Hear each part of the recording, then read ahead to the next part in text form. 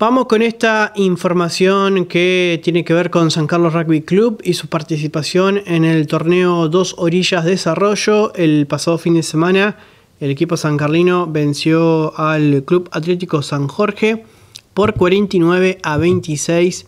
Esto fue en condición de visitante el pasado domingo con tries de Heraldo Nicio, Nicolás Grill, Gino Besone, Carlos Ferreira en dos oportunidades, Julián Toselo y Julián Acuña además de dos penales y cuatro conversiones de Nicolás Grill. ¿eh? Una eh, sumatoria de 49 puntos para San Carlos Rugby, una victoria contundente ante su par de San Jorge para el elenco sancarlino que terminó segundo en eh, su zona, por detrás únicamente de Coronda Rugby Club.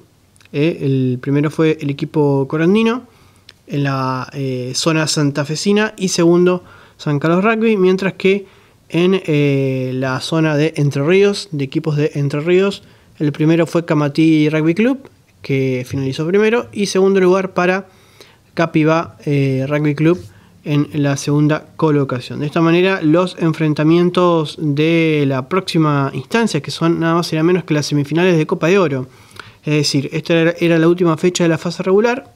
Con la victoria, eh, San Carlos Rugby clasificó a las semis en Copa de Oro, nada más y nada menos, el torneo más importante, y se enfrentará a Camatí de Viale, que ha sido el primero de la zona entrerriana.